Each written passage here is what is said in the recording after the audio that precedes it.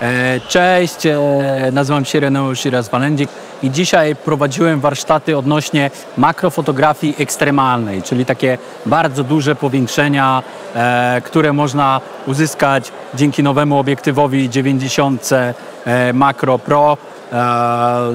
Zobaczysz rzeczy, których nie zobaczysz gołym okiem.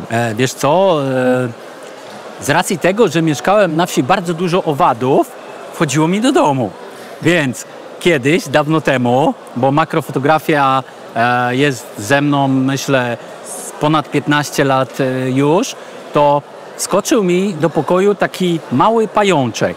Ja wtedy nie wiedziałem, co to jest tak naprawdę.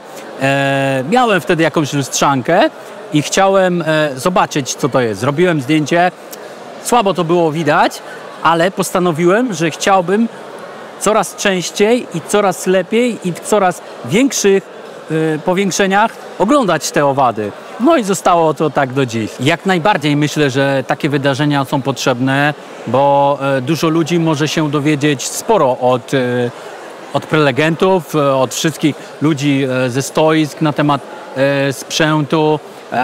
Jestem już drugi raz, w zeszłym roku albo dwa lata temu też byłem. Super, jak zawsze wszystko na najlepszym, najwyższym poziomie.